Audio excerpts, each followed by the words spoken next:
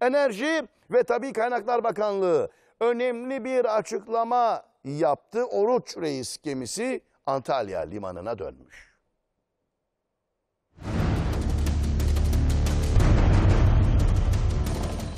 Haftalarca araştırma yapıldı, tam 10.955 kilometre veri toplandı. Oruç Reis Sismik Araştırma Gemisi 10 Ağustos'ta Demre sahasında iki boyutlu sismik araştırma başlatmıştı. Haftalar sonra çalışmalar tamamlandı. Oruç Reis Antalya limanına döndü. Oruç Reis sismik araştırma gemimiz 10 Ağustos'ta başlayan Batı Akdeniz açıklarındaki araştırma faaliyetlerini tamamlamış durumda.